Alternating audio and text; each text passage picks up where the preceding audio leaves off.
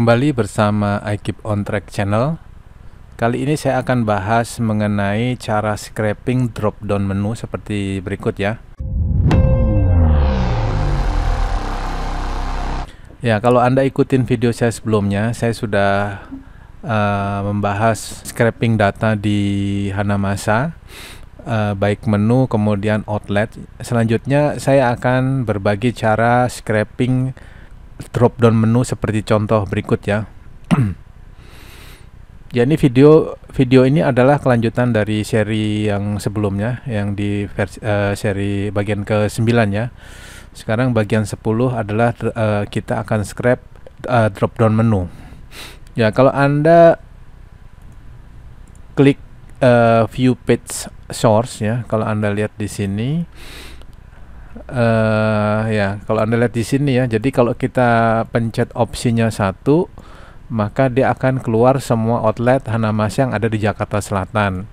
Kalau kita pencet dua, dia akan keluar semua outlet yang ada di Jakarta Utara.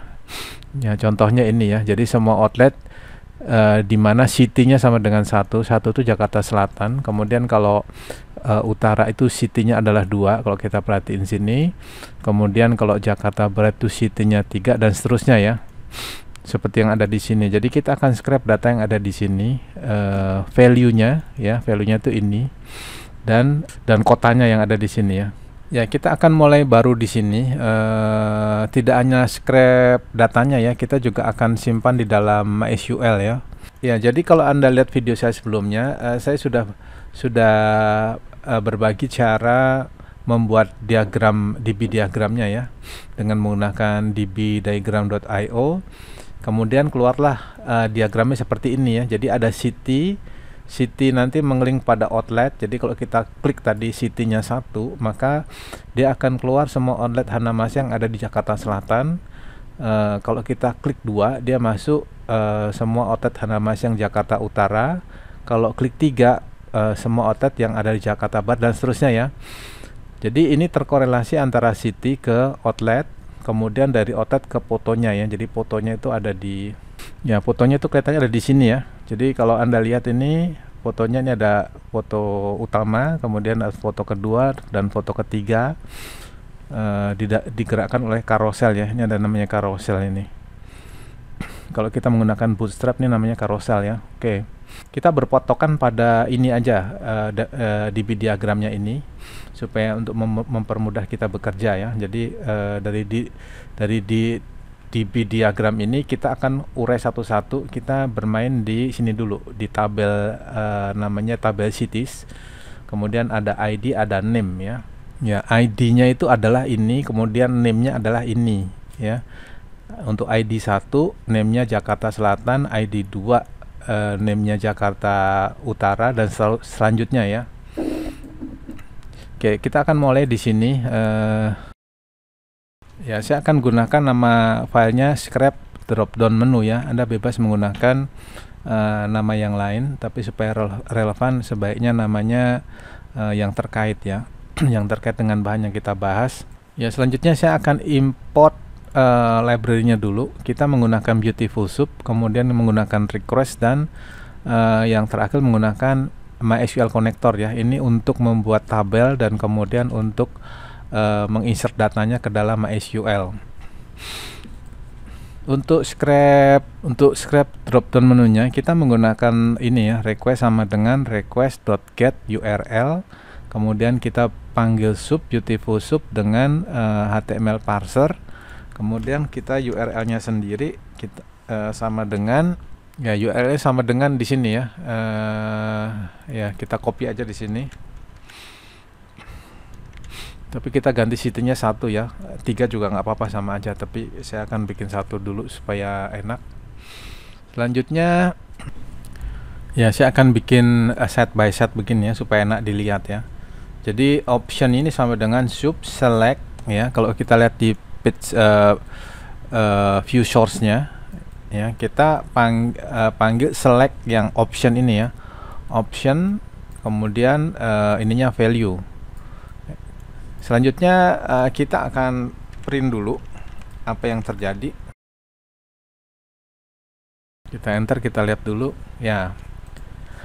Dia akan membaca semua yang ada di sini ya. Jadi ini dari nomor 1 sampai 14 dari nomor 1 ini sampai dengan nomor 14 ya. Jadi semua sudah kita dapatkan angkanya. Selanjutnya selanjutnya saya akan bikin looping for i in range mulai dari 0 sampai dengan panjang daripada uh, option ini selanjutnya uh, untuk ID-nya sendiri sama dengan Ya, uh, kita bikin looping seperti ini ya. For i uh, in range uh, dari mulai yang area yang ke 0 sampai dengan yang ke terakhir ya. Yang terakhir tuh ini. Selanjutnya uh, kita looping, kemudian untuk ID-nya, ID-nya kita mau ambil ininya aja nih ya. Yang ininya aja nih kita ambil. Kemudian uh, ID sama dengan option yang ke i ya, yang ke i ini kemudian get value-nya aja yang di sini ya selanjutnya kita running dulu kita lihat hasilnya seperti apa ya ini keluar ya 1 2 3 4 5 dan sel selanjutnya sampai dengan uh, eh, 14 ya uh, tapi kalau anda lihat di sini uh, kita lihat tipenya ya tipe datanya kalau kita running Ya, ini string ya. Padahal kita nanti kalau di MySQL kita butuh uh, ID-nya ini sebagai integer ya atau small integer. Sehingga uh, kita harus rubah string menjadi string menjadi integer. Caranya kita tambahin aja depannya in in, in gini aja integer maksudnya. Selanjutnya kita running lagi. Kita lihat Nah, sekarang udah menjadi integer ya, sesuai dengan harapan kita ya. Oke, selanjutnya selain ID kita juga butuh name name sama dengan ya name-nya adalah options ini ya kita copy aja ini kita copy aja option yang ke i tapi kita akan ambil teksnya aja selanjutnya kita akan print uh, name-nya aja. Ini kita matikan dulu. Selanjutnya kita lihat.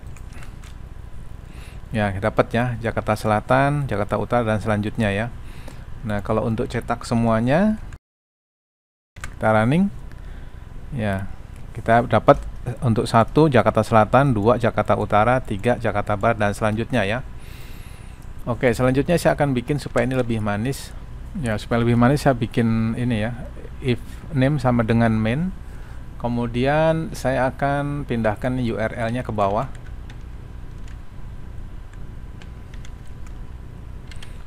Selanjutnya saya akan uh, bikin function namanya scrap.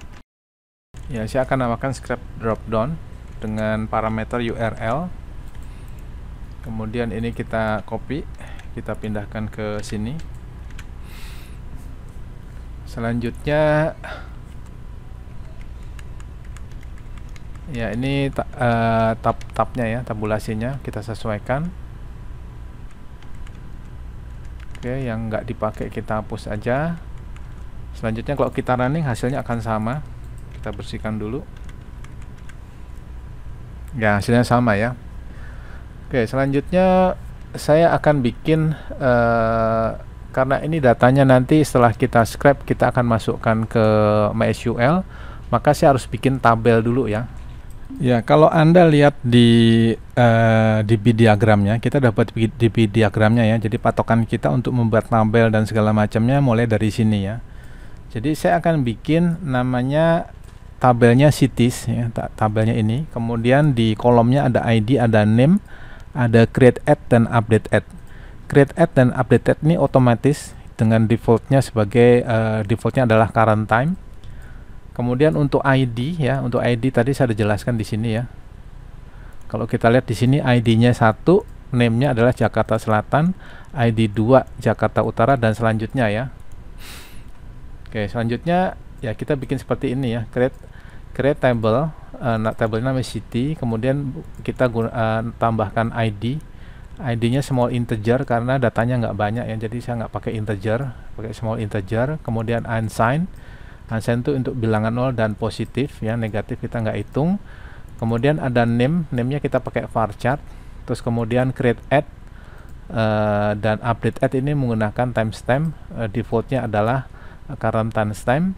Primary key nya adalah ID ini ya uh, ID yang ini ya Oke, selanjutnya untuk mengaktifkan ini Anda harus ya Anda harus gunakan ini ya. Jadi CNX MySQL connector connect kemudian usernya apa, passwordnya apa, nama databasenya apa. Ini sudah pernah saya ajarkan di video-video saya sebelumnya. Jadi kalau Anda bingung keluarnya dari mana, Anda harus lihat di video saya sebelumnya di di kupas tuntas website Hanamasa saya sudah jelaskan cara bikin tabel uh, kemudian bikin database, bikin insert data dan selanjutnya ya. Ikutin aja seperti ini. Selanjutnya setelah ini uh, oke, okay, kita akan bikin tabel dulu. Kita copy aja ini. Kita paste ini ya. Ini kita nggak scrap dulu datanya.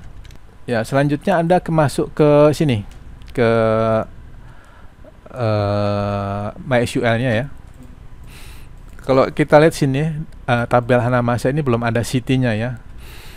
Kita akan buat city-nya seperti yang ada di sini. Saya akan bersihkan dulu. Saya akan uh, bikin yang namanya uh, tabel namanya city ya. Kita enter aja. Ya, tabel city sudah terbentuk. Selanjutnya kita klik aja di sini. Nah, ini keluar city. Kalau kita lihat strukturnya, nah isinya adalah ID uh, small integer, kemudian unsigned, name-nya varchar, create add dan update add timestamp, ke kemudian uh, defaultnya adalah current timestamp. Jadi ini kita nggak perlu isi nanti terisi dengan sendirinya. Begitu kita masukkan nama di sini atau ID di sini dia akan bikin dengan sendirinya ya. Ya selanjutnya untuk menyimpan data saya akan percepat aja. Saya bikin function ya.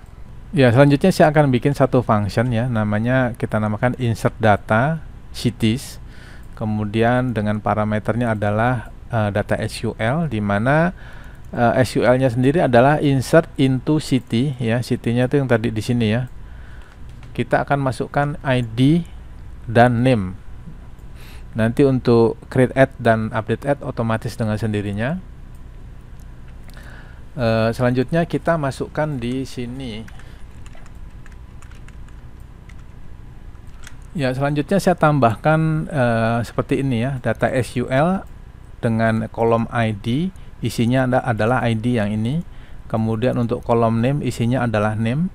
Kemudian data ini kita insert ke uh, MySQL-nya ya. Jadi insert into cities yang kita insert yang kita masukkan adalah ID dan name. Kemudian kita execute ya.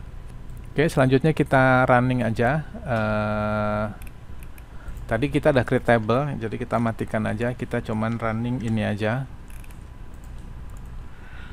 Kemudian kita bersihkan kita running. Saat ini untuk city-nya kosong ya belum ada isinya ya kalau anda lihat di sini. Kemudian kita running di sini. Ya ini terinsert ya. Sudah termasuk di sini sudah masuk. Kalau kita periksa di sini nah ini sudah masuk ya. Untuk ID 1 namanya Jakarta Selatan eh, ID 2 Jakarta Utara dan selanjutnya. Oke, rasanya cukup video berbagi kali ini. Bila video ini bermanfaat, dukung channel ini dengan cara subscribe, like, share, and comment. Terima kasih.